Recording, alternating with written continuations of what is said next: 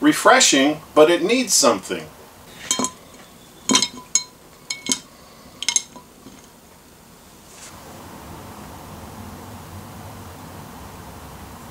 Mmm. Hi, welcome to Canispater Christmas. In the last episode, I said you probably wouldn't want to put pixels in your fish pond. But what if you did? I have a small string of six pixels here that are going to serve as our test subject. Let's hook them up.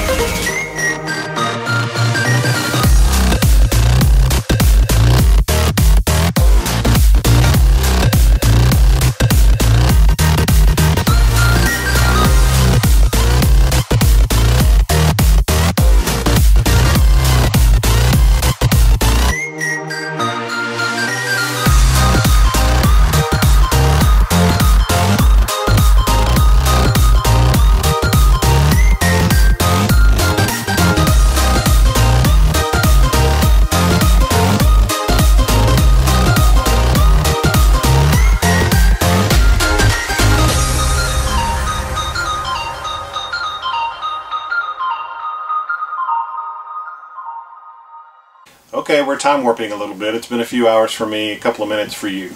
So these lights, uh, I believe, are IP68 rated, meaning uh, not Internet Protocol, but ingress protection. So the first number, the 68, the first number is dust, the second number is water. So 6 means basically no dust is going to get inside those bulbs.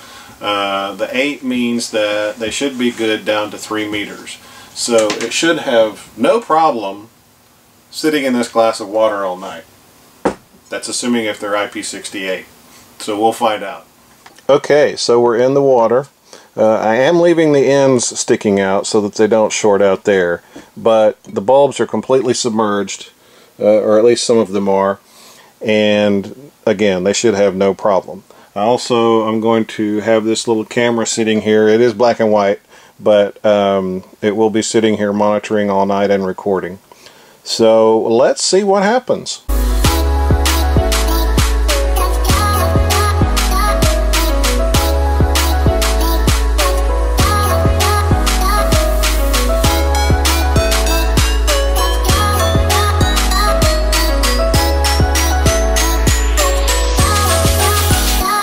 Some time warp and some editing for you. I had to leave a couple of times, so I turned them off as a precaution.